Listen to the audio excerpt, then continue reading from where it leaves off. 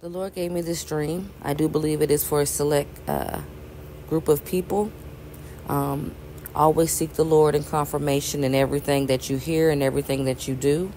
Um, and if it does resonate with your spirit and the spirit leads you to sow into this ministry, the links will be in the description. Uh, the message the Lord gave me, or this dream, this path was only meant for you. Others do not have the proper equipment to travel this path. You and only you have been equipped for this. Others will only delay your manna, they will only throw you off your course and make you miss your blessings. Some have no idea what they are doing, but you do. That's why you must travel this path alone. Sometimes you will have to pray alone, you will have to worship alone, you will have to go to church alone, you will have to pay your tithes alone, you will have to seek God alone. Everyone has their own path they must take. Some think the choices that you are making are foolish or funny. You can see that the choices they are making only lead to shame.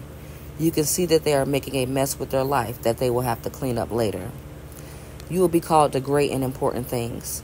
Do not feel as if you are not qualified. Know that you are important enough to God that He gave you that position, He gave you that opportunity. See yourself as mighty because that's the way God sees you because you carry His Spirit.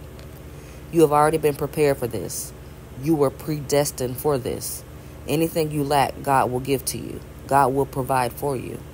God will generously give wisdom to you along with all things. All good things. Hallelujah. It's time to go after the finer things. This new level will seem out of your league, but do not worry. The advocate is with you. You will always have help deciding which purchases or investments to make. You will always have help making decisions and determining which way to go.